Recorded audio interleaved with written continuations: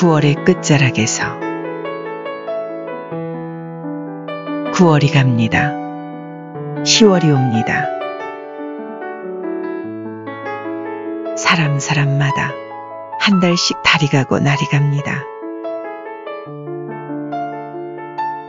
모두 먼 길 걸으면서 한 달쯤 쉽게 보내는 것 같지만 그 안에 얼마나 많은 이야기들이 있는지 나는 잘 모릅니다.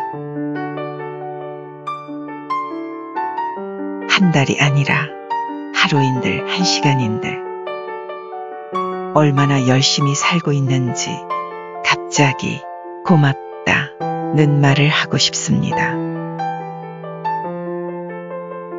알고 있는 사람이야. 알아서 알지만 모르는 사람이 더욱 고맙습니다.